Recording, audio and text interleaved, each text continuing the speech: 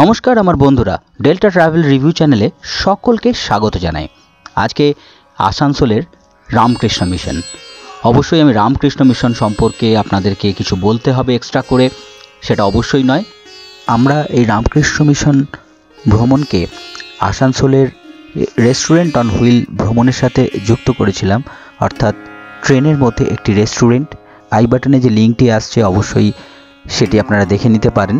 এই আসানসোল রামকৃষ্ণ মিশনে পরিবেশ খুবই সুন্দর এবং অনেকটা জায়গা জুড়ে এই মিশনের যে মঠ, আশ্রম টেম্পেল, আশ্রম টেম্পেলটি খুবই খুবই সুন্দর। হাই স্কুল আছে ভোকেশনাল ট্রেনিং হয় মেডিকেল ডিসপেন্সারি আছে, এরকম বিভিন্ন ধরনের অ্যাক্টিভিটিস এই রামকৃষ্ণ মিশনকে কেন্দ্র করে চলে।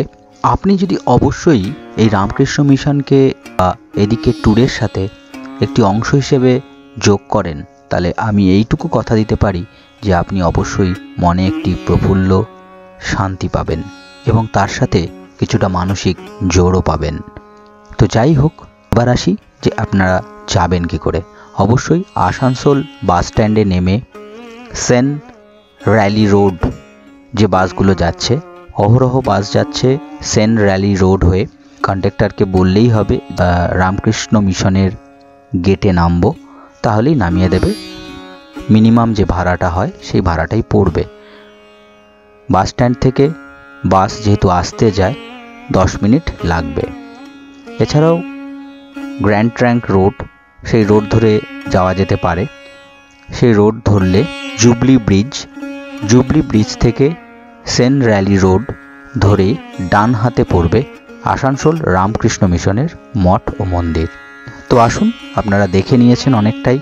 চলে আসুন, অবশ্যই মনে প্রফুল্ল শান্তি সবই পাবেন। আজকের মতো অনেক অনেক ধন্যবাদ। ভালো লাগলে সাবস্ক্রাইব করবেন, লাইক করবেন। কিছু জানার থাকলে কমেন্টও করতে পারেন।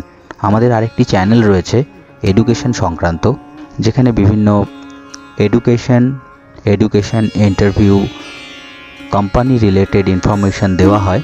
তো অবশ্যই যদি স্টুডেন্ট কেউ থেকে থাকো, অবশ্যই চ্যানেলটি সাবস্ক্রাইব করতে পারো ডেল্টা স্কিল ইন্ডিয়া নামে কমেন্ট বক্সে অবশ্যই তার লিংক রয়েছে।